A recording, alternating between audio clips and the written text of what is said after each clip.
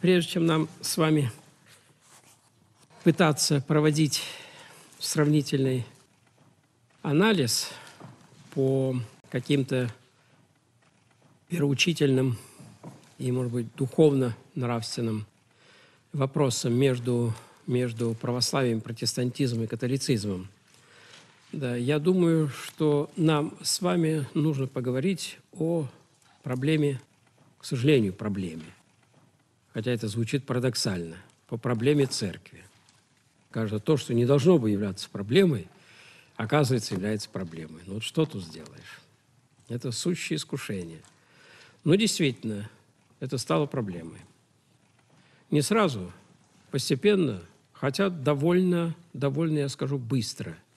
Если мы обратимся к истории церкви, то увидим, что уже первые еретические движения, особенно гностицизм, например, да, и расколы, которые возникли в связи, например, первые, помните раскол, в связи с чем они возникли? В связи с принятием отпадших во время гонений. Да, эти вопросы, то есть этот вопрос о церкви уже стал достаточно остро. Где границы церкви? Как возможен прием, прием тех, которые выходят из, из этих отколовшихся групп в церковь? Что делать? Были они ли вне церкви? Оставалась ли какая-то связь с церковью? И в соответствии с этим, или они были у вас совсем вне церкви, и в соответствии с этим, как их принимать в каноническое общение, в евхаристическое общение. Это вопросы, которые, еще раз повторяю, возникли уже в глубокой древности, уже, если хотите, во втором, третьем веках. Хотя в определенном смысле уже мы видим постановку этого вопроса даже в послании к Коринфянам, когда апостол Павел уже одного из, будем говорить, грешников уже ну, отлучает от евхаристического общения и придает сатане во измождение плоти. Итак, вот вопрос. Вопрос приема, приема в церковь. Он с чем связан? С границами церкви. Где церковь кончается? Где начинается, всем ясно. Более-менее всем ясно. То есть, ну, конечно, всем ясно. Хотя, правда, и здесь то же самое есть некоторые вопросы. Начинается ли церковь с явлением с Богоявлением самого Господа Иисуса Христа, как некоторые считают, поскольку Господь сказал, что церковь есть это его тело, апостол пишет. Или же церковь начинает с Пятидесятницы, когда оживотворяется это Духом Святым. Ну, как вы знаете, что, в общем-то, большинство не только склоняется к мнению, а, можно сказать, это церковная точка зрения, что церковь, начало бытия церкви это явление, явление Духа Святого. Это Пятидесятница. Вот так. Но весь вопрос о границах церкви. Что она церковь представляет? Где ее граница? По каким критериям мы можем судить? Это вопрос, который, который особенно остро встал после того, когда западная церковь откололась от восточной, когда произошел великий раскол. Ведь дело в том, что по истории вы же знаете, что хотя формально там в 1054 году там легаты, тут патриарх, да, предали, так сказать, анафеме и так далее, но общение-то все равно же продолжалось. Общение, ну, не между Константинополем и Римом, а там, где общались между собой и даже епископы, не говоря уже о священниках и христианах. Постепенно уже произошло это расчленение, расхождение. Постепенно образовалась та пропасть, которая оказалась впоследствии, ну, просто уже радикально разделяющей, разделяющей эти две реальности нашего христианского мира. И вот тут, особенно с большой остротой, стал вопрос о границе церкви. Ну, прежде всего, что стоит сказать, на что обратить внимание? Первое и непростое – это, конечно, вопрос о понимании церкви. Вы помните, что по катехизисам, догматическим богословиям и потом по Хомякову, который я вам цитировал, что есть, так сказать, ну, я боюсь сказать, что два понимания церкви, но, по крайней мере, два существенных акцента в понимании церкви. Такие акценты, которые существенно меняют представление о церкви. Одно из этих пониманий, которое связывает понятие о церкви, очень связывает, я бы сказал, ну, можно сказать, безусловно связывает понятие церкви с внешней, видимой, канонической жизнью церкви. Безусловно связывает. И другое понятие о церкви, которое, признавая необходимость канонического устройства церкви и принадлежность к ней через соответствующие правила, в то же время считает, что церковь, церковь как тело Христова не совпадает с каноническими границами церкви. Вот здесь вот, вот в этом вся, если хотите, сложность этой, этой проблемы. Ну, что она не совпадает, как мы это понимаем? Обращаю опять ваше внимание к тому, что вам уже давно известно. Хомяков, может быть, не совсем он корректно сформулировал, но словесно, но выразил очень точно, точно саму идею церкви. Я не хочу повторять его определение, а хочу сказать, выразить, ну, как мне кажется, может быть, более правильным языком эту идею. Что есть церковь? Церковь, конечно же, это же есть единство в Духе Святом всех тех верующих, которые искренне стремятся жить по Евангелию и таким образом приобщаются, приобщаются божественному организму, телу Христову. Вот, в конце концов, что есть церковь. Я не знаю, можно ли против такого определения что-либо сказать. Именно это единство в Духе Святом. Там, где нет Духа Святого, ни о какой церкви речи просто не может идти. Вот. Ясно, что это единство, опять повторяю, в Духе Святом. Кого? Кого же это единство? Конечно, тех, которые искренне стремятся жить по Евангелию. У кого этого нет, о каком Духе Святому, о каком причастии Духу Святому можно говорить? Не правда ли? И совершенно очевидно, что, что именно только эти люди, только эти люди, которые своей жизнью, своим следованием Евангелию, так, эти люди приобщаются Духу Святому и таким образом становятся истинными членами Церкви. Но в то же время, вот в связи с этим, с этим пониманием Церкви, которое, еще раз говорю, едва ли вызывает сомнения, так, в связи с этим пониманием Церкви мы должны поговорить о соотнесении этого понимания с каноническим пониманием Церкви. Если мы обратимся к тем определениям Церкви, которые мы находим в наших догматических и катехизических пособиях, то мы видим, там акцент делается не на этом. Видите, тут единство в Духе Святом. И через это приобщение, приобщение к Церкви, и таким образом приобщение и к канонической Церкви, естественно. В этих же определениях акцент делается на другом. Все они с чего начинают? Церковь есть общество людей. Вы понимаете, в чем дело? То есть главным и признаком указывается это общество людей, общество объединенных. И дальше начинается. Вероучением, все это справедливо, вероучением. Правда, не говорится, а очень важно. Самое главное, по-моему, и не говорится. Духовно-нравственными принципами жизни. Это в высшей степени важно. Потому что принимая вероучение, но не разделяя духовных принципов жизни, можно можно превратить церковь в злейшее, поместную церковь, в злейшее еретическое общество со всеми абсолютно правильными догматическими истинами. Понимаете? Абсолютно правильное догматическое учение при искажении духовных основ жизни эта церковь, эта община может превратиться в абсолютно, абсолютно еретическое, а лучше сказать, даже не еретическое, прелестное общество и никакого проку, никакой церкви уже здесь не будет. А что это возможно, в этом нет сомнений.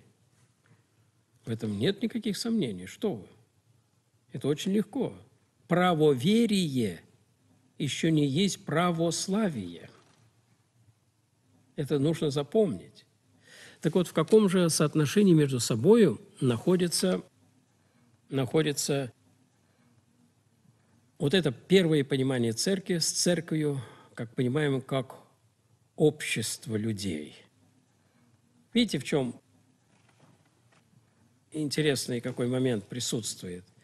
Ведь когда говорим о церкви как обществе верующих людей, то какой мы привносим сюда такой элемент, вызывающий, ну, всегда некоторые, ну, и сомнения, и недоумения. Ведь кто принадлежит церкви при таком определении? Любой крещенный и не анафематствованный.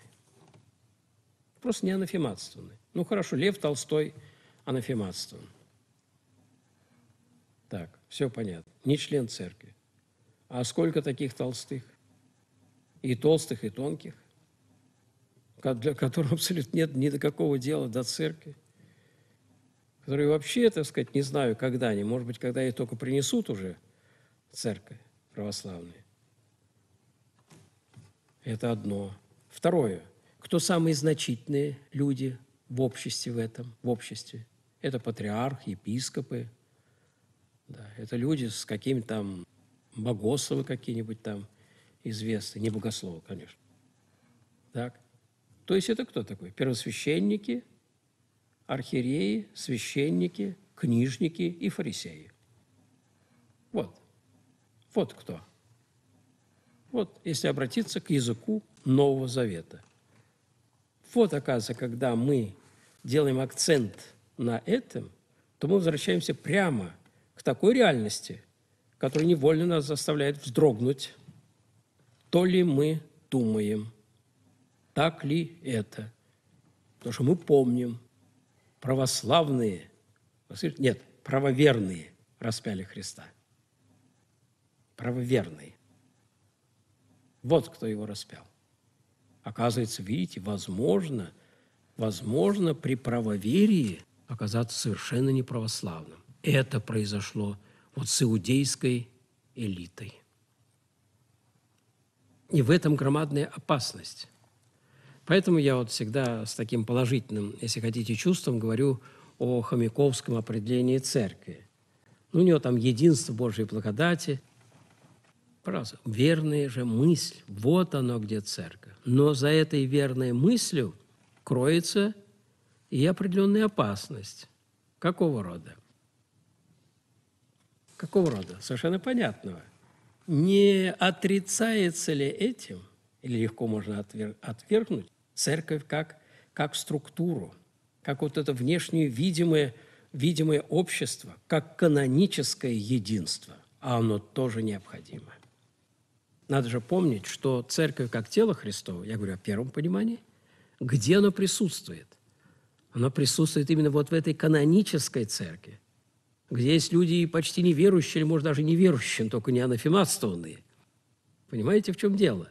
В канонической церкви чем она важна? Сохраняется, сохраняется вера учения, Слово Божие, то есть Библия, Священное Писание.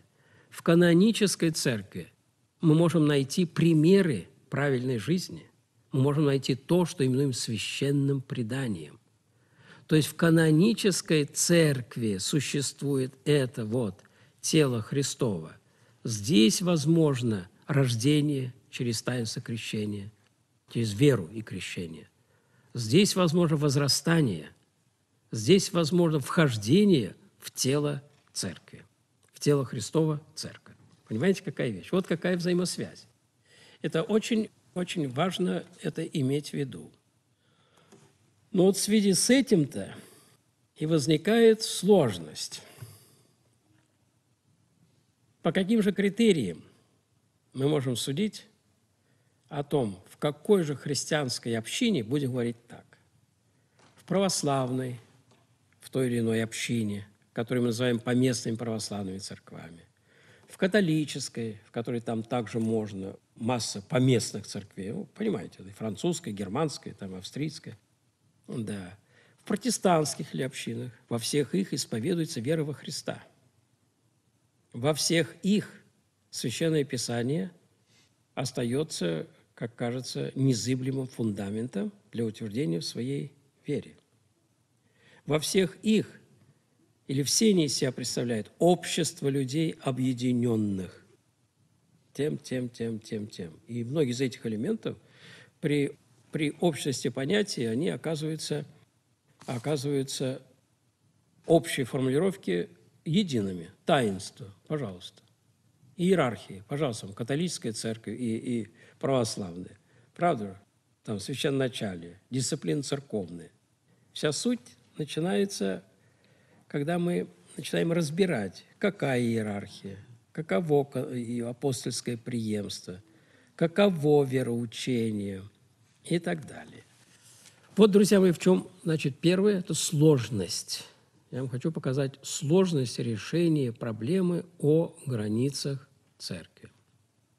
Этот вопрос уже беспокоил в первые века. Он был рассмотрен, если хотите, если хотите, как-то не только изложен, но и даны по нему некоторые ответы серьезные – даже у Василия Великого. В первом послании к Амфилохию, послании к Амфилохию, он уже рассматривает это, этот вопрос. Так, этот вопрос рассматривался, изучался, и по нему мы видим разные ответы в нашей русской, богословской и религиозно-философской мысли.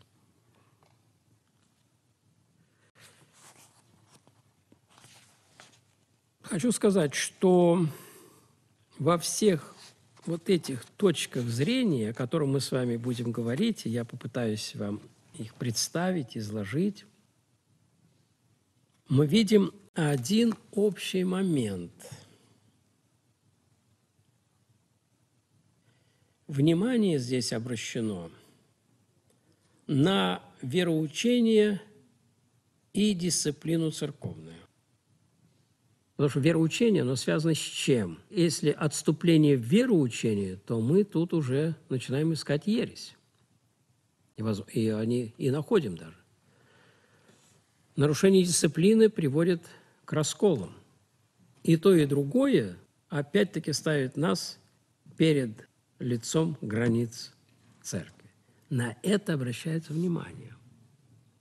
Но найдете ли вы или нет –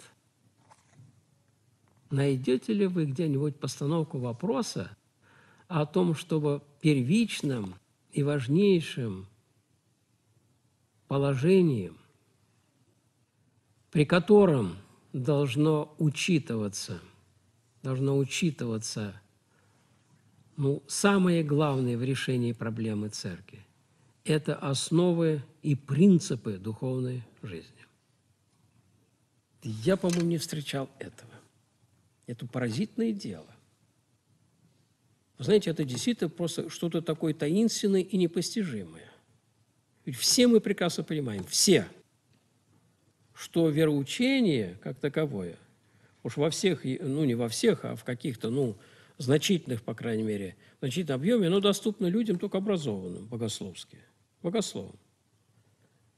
Массе верующих людей, то есть это 90, я не знаю, с кем там, сколько процентов, их знание о вероучении самое ничтожное, очень небольшое. Помните рассказ Мельникова-Печерского? Приехал молодой там священник, горячий, проповедник, и на Троицу проповедует со всем азартом, пылом своей души о Троице. Объясняет, что такое Троица. Прямо перед ним стоит огромный мужик Фома. Фома. И вот священник, наконец, кончил. Ну, Фома, понял? К нему обращают при всем народе. Фома, Понял. Отвечай, что такое Троица? Христос, Богородица и Микола. Представляете, что было с бедным нашим проповедником? Он аж подскочил на обмоне. Ах ты невежда! И начался еще больше, уже не только ревностью, но яростью проповедовать. Наконец закончил свою тираду, выдохся и говорит, теперь ты понял, Фома, или нет?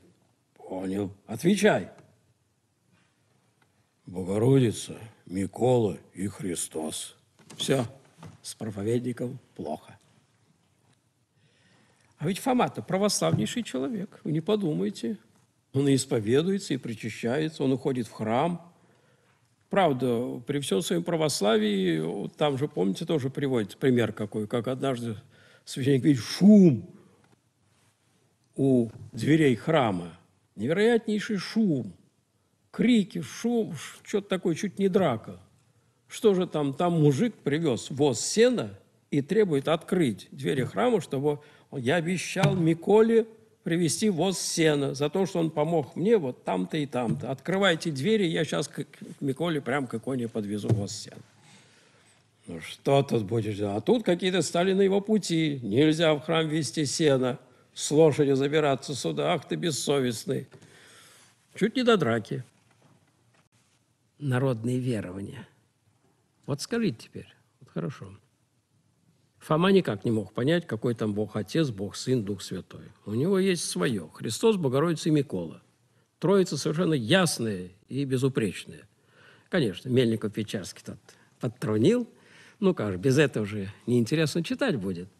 Но по существу, действительно, люди, которые не знакомы, не знакомы с богословием, со школой, с обучением, они имеют представления о вероучении самые слабые, самые поверхностные.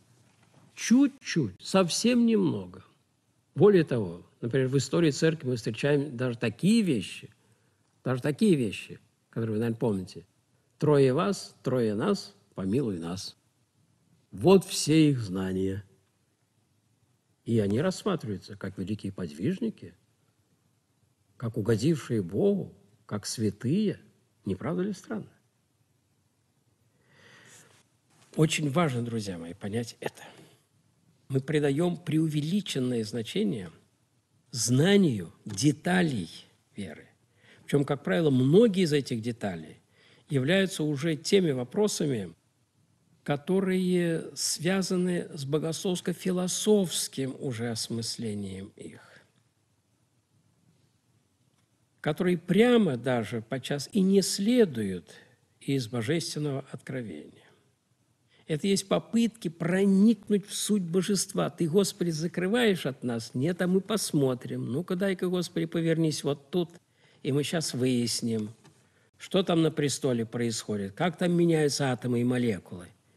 Действительно превращается в твое, в твое прям биологическое тело, в твою биологическую кровь, и мы это едим. Или что там другое? Начинаем, начинаем исследовать вот эти вот вещи.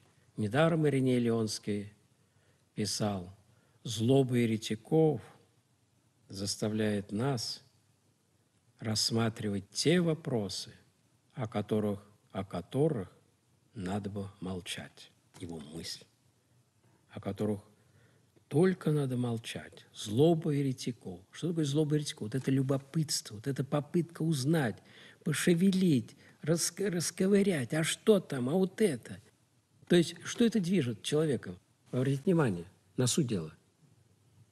Человека интересует не спасение, вы слышите, а любопытство. Когда кто тонет, будет ли он, будет ли он, говоря о спасении, рассматривать, а какая там лодка за мной подойдет, а из чего она сделана, а кто ее сделал, а когда она сделана, а кто там в ней. За соломинку готов ухватиться. Малейшая небольшая палочка, она может оказаться у него спасительной. Только богословы от преизбытка, от преизбытка любопытства и отсутствия, и отсутствия ощущения своей гибельности, своего духовного состояния, бросились вот в эти вот науки. Недаром апостол предупреждал, чтобы не увлекаться пустой философией а превращается, сходится именно к этому. Так вот, для меня что важно, друзья мои? Суть христианской веры, православное понимание состоит в чем? В правильной религиозной жизни. Вы слышите? В правильной религиозной жизни.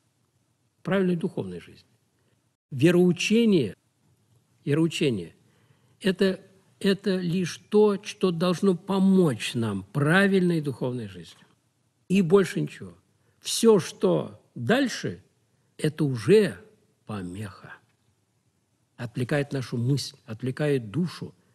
Ты вообще не о том, говорит. Человек утопает, а он начнет тут еще рассуждать.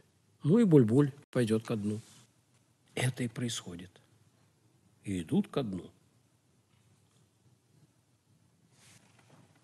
И вот представляете, в истории обсуждения вопроса о границах церкви на этот пункт, так, на это, я не знаю, обращалось ли когда-либо внимание. Если обращаясь, то так, как нечто второстепенное, несущественное. Да, говорят, святая жизнь нужна. Но что такое святая жизнь, когда мы говорим о церкви, когда все грешные? И где тут найти? Где тут найти? Какая она? Святая или грешная, если судить по состоянию, по состоянию ее членов. Так? Все внимание обращается, повторяю, на, веру, на верность вероучения и верность или сохранение дисциплины церковной. С этой точки зрения пытаются рассмотреть вопрос о границах церкви. Мне вот так кажется – это, конечно, когда кажется, надо, вы знаете, что делать, конечно. Ну, тут не церковь, поэтому уж ладно уж так и быть, я потом перекрещусь там в церковь. Мне кажется, по этой причине мы не можем, во-первых, правильно подойти к этому вопросу. Во-вторых, не можем найти подлинного критерия. Не находим. Заходим в тупик. На этом пути нет, нет возможности разрешить этот вопрос. И вот история рассмотрения этого вопроса покажет нам, что действительно мы заходим в тупик. Мы не знаем, не знаем, где оно тут, где начинается церковь, где кончается церковь, а начинается не церковь. Где эта зона? Граница ли строгая? Какая-то широкая зона? Разные есть точки зрения. Есть радикальные решения, а есть э, более, я бы сказал, мягкие – где целая широкая зона, как полутень дается, но не дает разрешения этого вопроса. Мне кажется, разрешение возможно вот только вот на почве изучения основ, принципов духовной жизни. Здесь, я вам скажу, открываются очень интересные перспективы – и мне кажется, довольно серьезно проступает возможность правильной оценки того, какова эта христианская община, в какой степени она является церковью. Окончательного решения, правда, трудно, трудно найти. Но большие возможности здесь, как мне кажется. Вот так. Хорошо, друзья, это вот тот, э, так сказать, момент, который мне хотелось вам отметить, прежде чем, прежде чем приступить вот к изложению уже определенных идей, идей, которые были высказаны нашими богословами.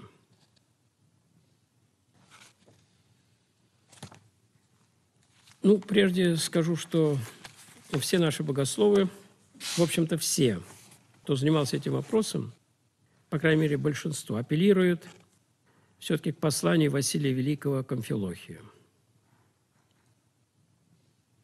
Потому что это послание его одно из самых таких, таких прямых, прямых постановок вопроса.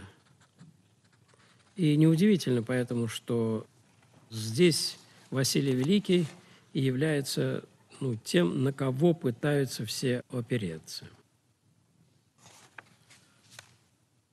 Это послание, ну, не знаю, вы, может быть, знаете, или у меня его нет с собой, я его не брал, но я думаю, что вы, что вы представляете, о чем идет речь. Там Василий Великий рассматривает все отделившиеся от канонической церкви общества на три разряда. еретические, раскольнические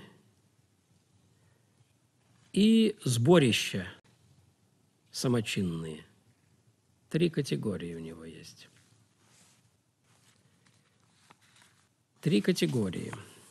Ну, вы знаете, вот в отношении понимания даже еретических, еретических, у него был смысл термина в его время и сейчас не совпадают. Не совпадают. В чем дело?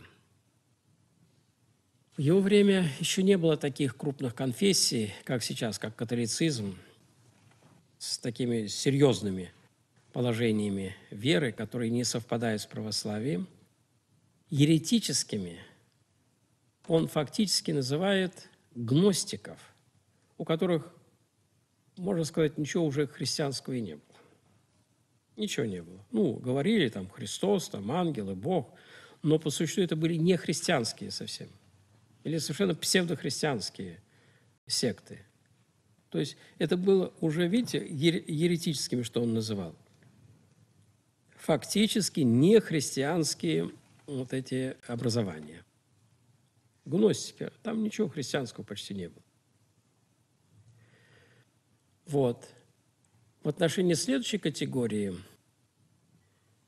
когда он пишет «расколы», то, по-видимому, судя по контексту той эпохи, это как раз то, что в наше время именуется ересью.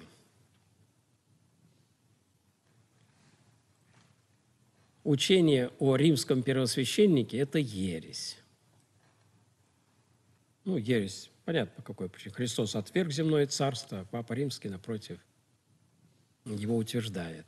Вот что такое. И, наконец, самочинные сборища – это, по-видимому, то, что мы называем расколами. То есть, когда происходит отделение по дисциплинарным причинам. Видите, другая ну, я бы сказал, система оценки. Так вот, что Василий Великий, как он мыслит в отношении этих, этих образований? В отношении первых, еретических, теперь мы понимаем, что такое называют еретическими, то есть не христианскими. Он говорит, что здесь они совершенно от церкви отверглись, и ничего тут церковного нет. Они просто вне церкви. Как э, любое, мы сейчас скажем, иноверие. Оно вне церкви. Никакой связи не только с канонической церковью, но никакой связи даже и с вероучением церковным нет. И вот таковых он советует, советует принимать, если они обращаются, то только через крещения. Поскольку они, они никакого крещения не получили и никакого рождения в церкви у них нет. В отношении следующей ступени раскола, вот здесь он уже предлагает другое. Он говорит, что прежде бывшим отцам таковых принимать можно не через крещение. То есть крещение уже он не считает необходимым, необходимым. Этому предшествовали долгие дискуссии. Сейчас вот сама по себе тема, можно было бы нам с вами поговорить, но много времени займет – об истории этих споров. Когда, например, в Карфагене, в Александрии были соборы, как папа Стефан решительно восставал против решений тех соборов. Да. Ну, в общем, в конце концов, на Востоке восторжествовала та точка зрения, в конце, потом уже, в конце концов, это позднее уже, когда стали перекрещивать и этих людей. по истории, если мы посмотрим, что в конечном счете на Востоке, особенно после отпадения, стали крестить латинин даже. Латинин. Стали перекрещивать. И эта практика остается до настоящего времени. У нас на Руси немножко другое. Сначала мы приняли это же самое, это же самое приняли. Я могу даже назвать кое-какие кое-какие даже соборы. Например, Константинопольский собор 1484 года определил латинин принимать через миропомазание уже. А через 300 лет определяет перекрещивание. Константинопольский собор 1755 года. Через перекрещивание. У нас, интересно, на Руси с 15 века сначала перекрещивание, потом в 17 веке на соборе 1657 года, 57 года признал крещение латинин, признал крещение латинин, но не лютеран и кальвинистов. А уже через 10 лет – в 1967 году, так, стал, стал принимать латинин через миропомазание. Но знаете, что любопытно произошло? Киеве, вообще в Малороссии, под влиянием ну, идей Западной Церкви, там сохранилась практика, несмотря на постановление даже греческих соборов, вот я вам сказал, даже начиная с XVIII века, там только через перекрещивание латин принимали. Практика принимать без перекрещивания и даже без миропомазания католиков. И вот эта вот практика, она постепенно проникла и сюда, без каких-либо соборов. И в результате католиков стали принимать в сущем сане даже, не говорю мирян, без перекрещивания, без миропомазания, а только через покаяние. Вот видите, как, какова, так сказать, практика, как она менялась в истории. Это, кстати, очень, это очень важный момент, который нам с вами придется обсудить. Так вот, видите, Василий Великий уже, уже тогда вот заложил, если хотите, основы, и, как он говорит, прежде бывшим отцам. Он апеллирует к прежде бывшим даже отцам. Представляете? Да. Еретиков принимать через перекрещивание, а вот последующих, да, принимать через покаяние –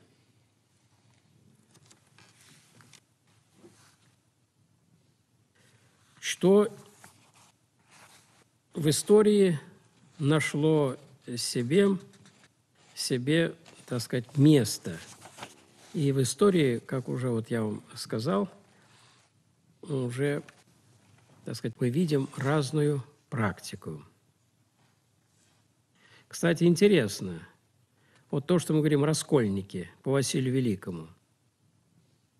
Оказывается, раскольники отделившиеся от церкви, у раскольников, крещение их, Василий Великий пишет, «Яко еще не чуждых церкви угодно было приимати». Первых крестить, вторых вот этих приимати. Раскольников, ну каких раскольников, я говорю, это уже еретики по современной терминологии. Это очень любопытно. А вот инославные общества, то есть самочинные сборища или раскольники, они принимаются то, что мы сейчас называем третьим чином, то есть через покаяние. Ну, вы знаете эти три чина, да? Первый чин – через крещение, второй чин – через миропомазание, третий чин – через покаяние. Вот эти три чина. Они в канонической практике церкви так и остаются, остаются у нас.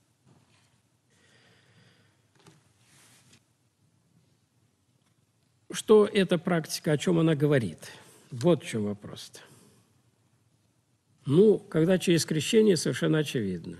Эта практика свидетельствует о том, что данный человек находился полностью вне церкви. А вот последующая практика, вот тут и вызывает вопрос. Крещение принимать, но миропомазать. Например, лютеран. Если касаясь вот нашей действительности, так? Крещение, значит, принимать, миропомазание, поскольку не совершается у них, они не считают это за таинство, так? То, следовательно, нужно его совершить.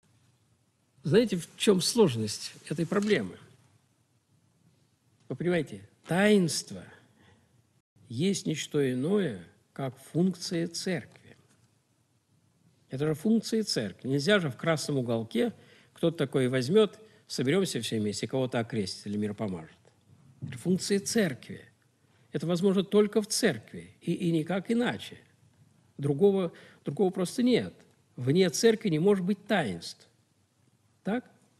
Если мы этот тезис принимаем – Подумайте только, если мы принимаем этот тезис, что таинства возможны только в церкви, что отсюда следует тогда?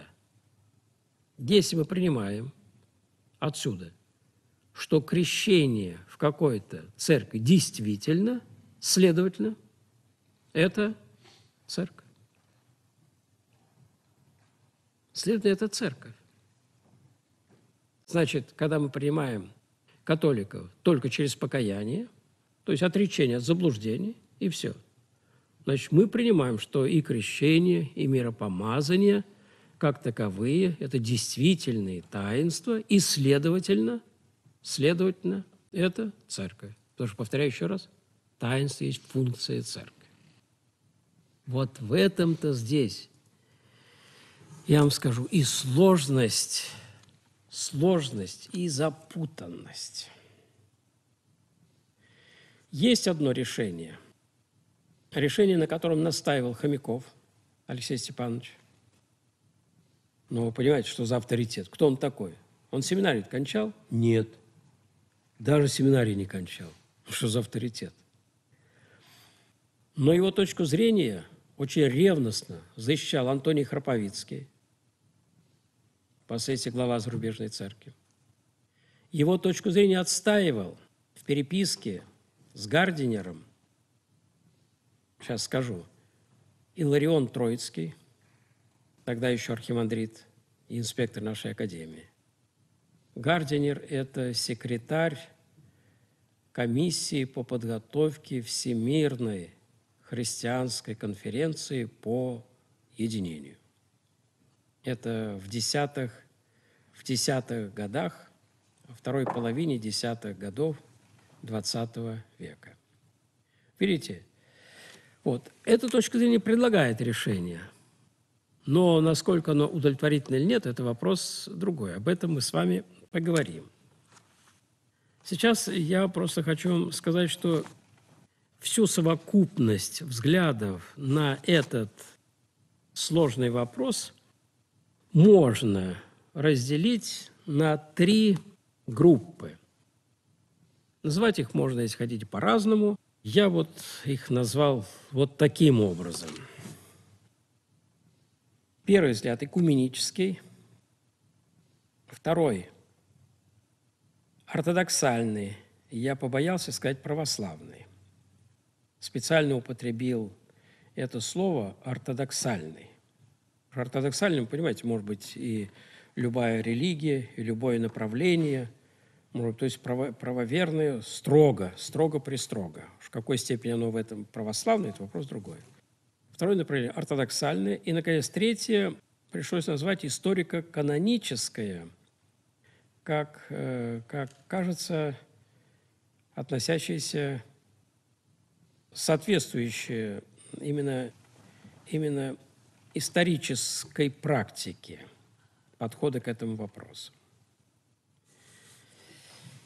Чем характеризуется первое направление, экуменическое направление?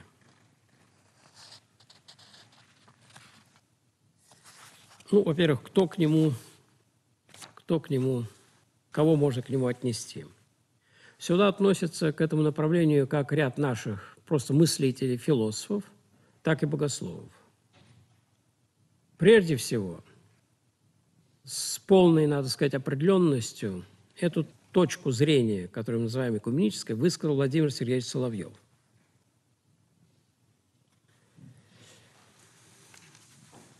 Эту точку зрения защищал Бердяев. Ее богословски обосновывал протеерей Павел Светлов. Это киевский профессор. Карташов, вам известный историк и профессор Парижского богословского института – Отчасти можно взять и Булгакова, хотя о Булгакове должен вам сказать. Вот он умный очень человек, но он поражает. Знаете чем? Вот своими мощными колебаниями. Из одной стороны в другую. Причем каждый раз он очень, так сказать, я бы сказал, сильно и, кажется, аргументированно защищает свою позицию. Но колебания у него очень сильные были.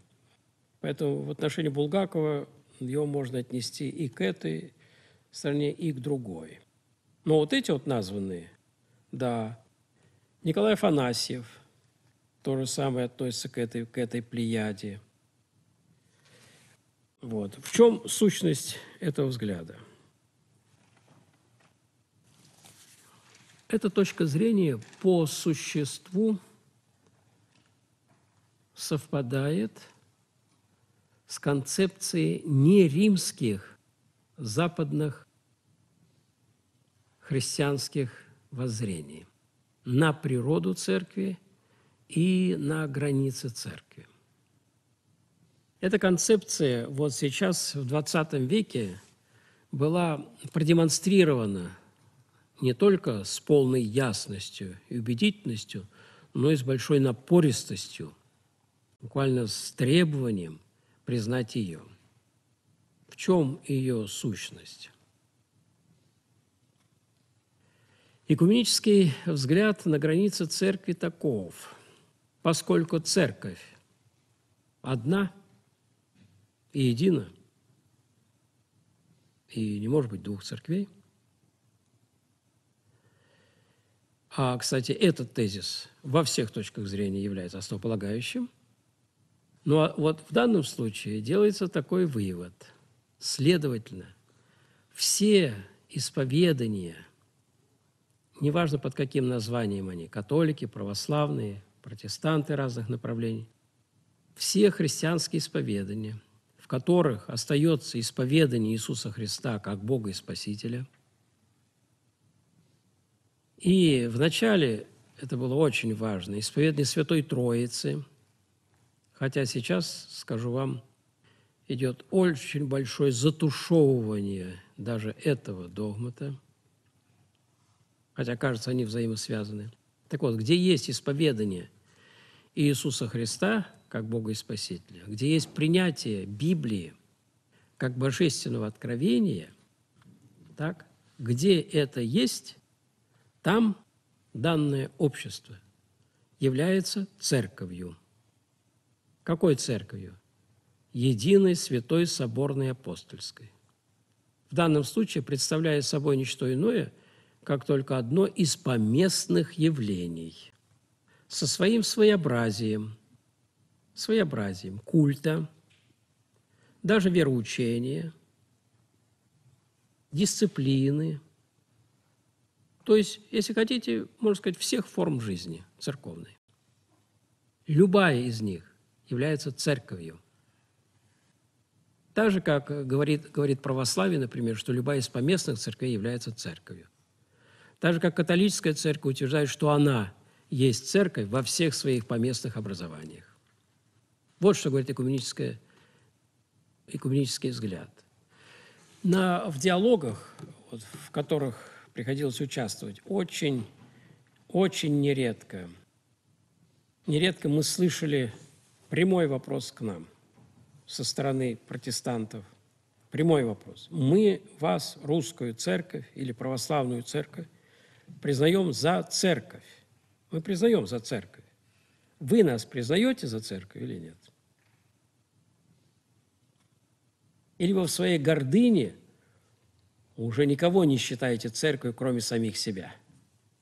Правда, такого слова прямого не было сказано, гордыня, но это подтекст именно был таков.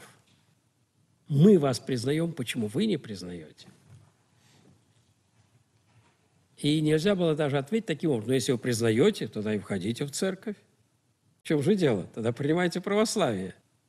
Нельзя было ответить по очень простой причине, что они-то считали, они-то считают и убеждены, что они тоже есть церковь, никуда не надо входить.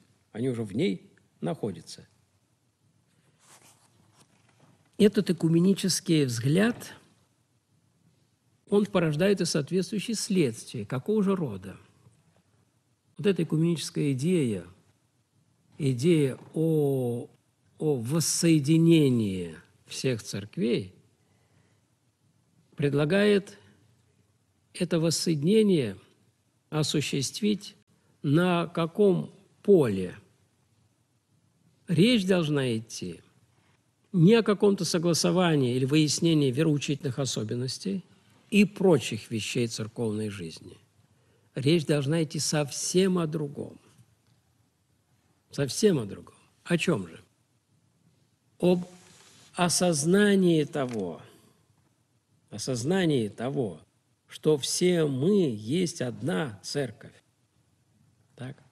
О преодолении этой, знаете ли, упрямства архиереев и несогласии, строптивости богословов.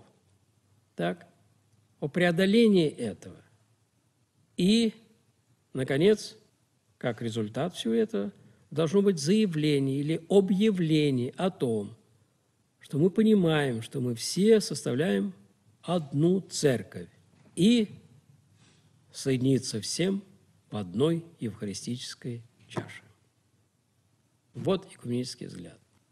Кстати, вот я вам сказал, что Булгаков у него такие вот сильные колебания были – и в качестве иллюстрации вам приведу. На первой всемирной экуменической конференции по вопросам веры и устройства в 1927 году в Лозанне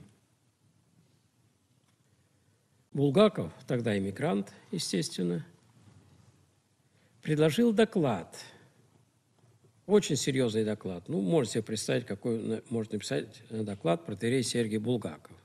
Даже можно голову сломать, если человек не имеет тренировки. Да. О Божьей Матери. Протестанты смотрели на него с изумлением и не понимали, что он хочет сказать. И вообще, зачем все это? Но это ладно. Это ладно. В общем, они уж проглотили эту горькую пилюлю, ну и сказали, ну, Ладно, ну человек сошел с ума, ну, пожалуйста, пусть поговорит. Дело не в этом. Дело в другом, гораздо в худшем. Не кто-нибудь, а Булгаков, протерей, предложил на этой конференции всем собравшимся, а там были протестанты разных направлений, англикане, старокатолики. Так? Он предложил всем собравшимся вместе причаститься. Правда, кто должен был служить литургию, вот я не помню, говорил ли он или нет. Православную литургию или какую-то англиканскую литургию. Я не помню, но предложил всем причаститься. И самое поразительное, я думаю, это поразительно, и сейчас кусают локоток, конечно. Против этого восстали старокатолики – еще в то время они были очень близки к православию, очень близки. Старокатолики восстали против этого и сказали, они ни за что не согласятся на это, чтобы причаться там с какими-то там лютеранами, реформатами и так далее. Булгаков это предлагал. Его взгляды в то время носили очень странный характер. Я вам процитирую его – Господствующая формула относительно соединения церквей гласит «Общение таинств, то есть единение в таинственной жизни, должно иметь для себя условием предварительное догматическое соглашение. Но так ли бесспорно это мнимая аксиома, вы слышите, которая никогда не проверялась? Здесь на одной чаше мы имеем различие некоторых христианских догматов и богословских мнений, и веками сложившиеся и закрепившиеся отчуждение и соперничество, но на другой – единство таинственной жизни и прежде всего трапезы Господней. Почему же считается необходимым предварительное согласие во мнениях? Вы слышите? Не в вероучении, он называет это мнение. Это церковное учение он называет мнениями. Почему же необходимо предварительное согласие во мнениях, а не наоборот? Не в единстве ли таинства надо искать преодоление ереси учений через преодоление ереси жизни, каково является разделением?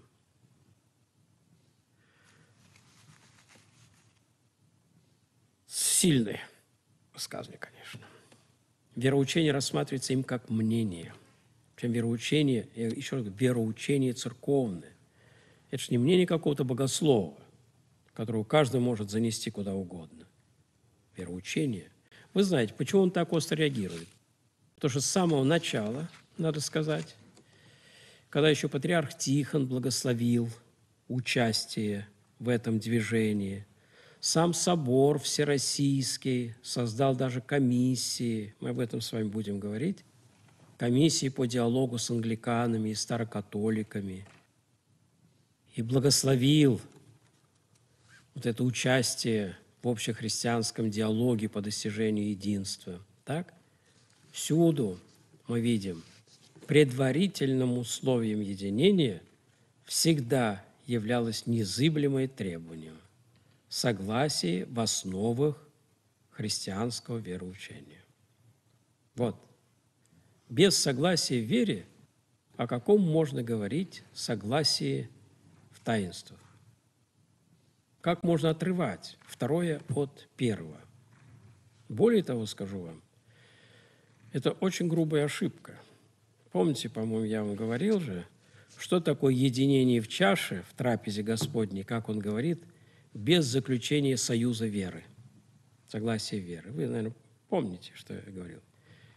Трапеза, Евхаристия объединяет людей в единое тело христиан, верующих, в единое тело – объединяет. Что еще объединяет в единое тело? Брак. Как мы называем это объединение, когда ему не предшествует заключение брака? Любят друг друга? Да, конечно. Как мы называем? Прежде заключения брака, то есть союза. Знаем как. К этому, к этому призывает в Евхаристии то же самое происходит. Только еще, если хотите, на более высоком уровне, на духовном уровне, религиозном уровне. Поэтому я вам скажу, что интеркоммунион, которым призывал Булгаков, это есть не что иное, как проповедь духовного блуда. Конечно, он не понимал этого. Этого не понимает сейчас кардинал Гусар – который призывает уже на Украине создать единую христианскую церковь через объединение в единой чаше. Призывает прям к единому богослужению, совместному богослужению, совместному совершению Евхаристии. Вы понимаете, до чего дошли? Не понимают таких элементарных вещей. Кстати, я уверен, что, что вот это развращение, которое сейчас широчайшим потоком имеет место на Западе и на Востоке, конечно, оно обусловлено вот этой духовной развращенностью, по которой пошли христиане. Вот этот интеркоммунион, то есть единение в чаше Господней, это есть не что иное, как свальный грех. Вот. Другим словом не назвать. Булгаков не понимал этого по крайней мере, в данный момент. И этого, кстати, не понимают вот эти экуменисты, эти западные христиане, которые многие католики, Я вам говорю, это католики сейчас. Это, ну, вот я же участвовал на конференции, епископы католические прям настаивали на том, на необходимости начать нам на приходском уровне совместное совершение литургии и причащения. Понимаете, на чем настаивает? Это, знаете, мне кажется, это все равно, что вот когда какие-то развратные женщины настаивают на необходимости. Вот. Тоже здесь это происходит. Неужели они не понимают этого? Апостол Павел же пишет, совокупляющийся с блудницей, одно тело становится с блудницей. Прежде заключения брака, союза этого, как же можно вступать в единение? И этого, видите ли, не понимают люди. До чего дойти?